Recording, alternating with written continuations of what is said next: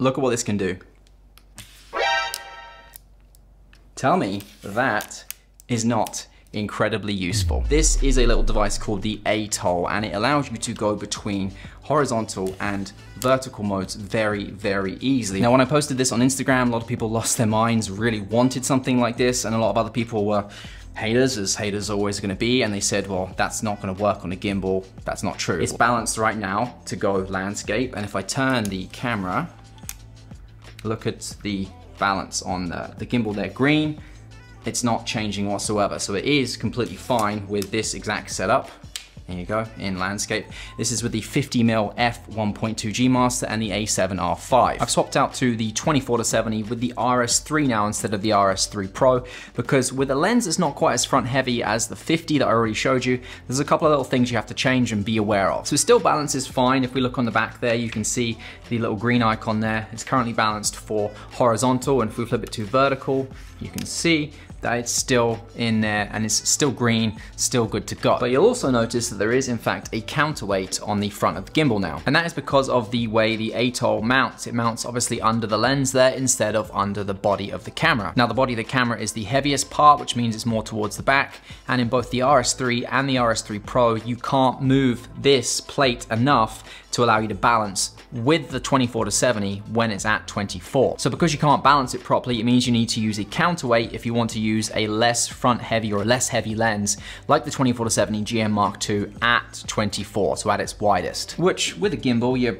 probably gonna be doing. So that is something you need to be aware of, but you can get these for quite cheap. This is one from Small Rig, I think it was like $20. Now, obviously, if I wanted to extend this and go to 40 or 50 up to 70 mil, no problem, I can remove the counterweight there and you won't have any issues balancing this on the RS3 or the RS3 Pro. Now, if you have a lens like the 1635, where when it's at 16 at its widest, the barrel is extended, you might not have this issue. It depends on the lens and the setups that you're using. In general, a heavier front heavy lens is going to work better with this. Now, I did find when I was using the RS3 that I might have to calibrate it depending on the lens setup that I was using.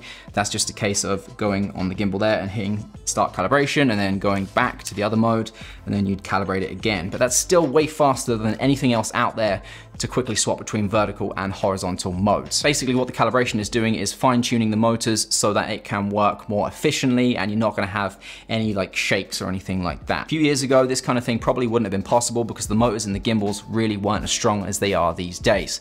So that's something that we're really just taking advantage of modern technology to be able to allow us to do something like this. This is one of those products that I saw someone else have Dunner in our video that uh, we talked about all of our favorite gear last year. I'll link that video up there. He introduced me to this piece of gear and I immediately wanted it. What's that called? I actually want one. What is it? it's the Silence Corner ATOLL. So I reached out to ATOLL. They sent me one through. Thank you, ATOLL. It's designed for taking stills, basically. But when I got it, got my hands on it, I started thinking, actually, this might be quite useful for this kind of setup. So that's what led me to try it out and here we are. Now in terms of how this actually functions as a device, let me run through with you now. So you got Arca Swiss here, you got Arca Swiss here. This is the part that you attach to your gimbal, to your tripod, whatever you have it attached to. The rotation is actually happening within this part here of the, we'll call it a lens collar because it's kind of what it's like. If the lens actually isn't rotating, because the part of the ATOLL attached to the camera here is, is attached to it, the rotation is actually happening inside of here. That is rotating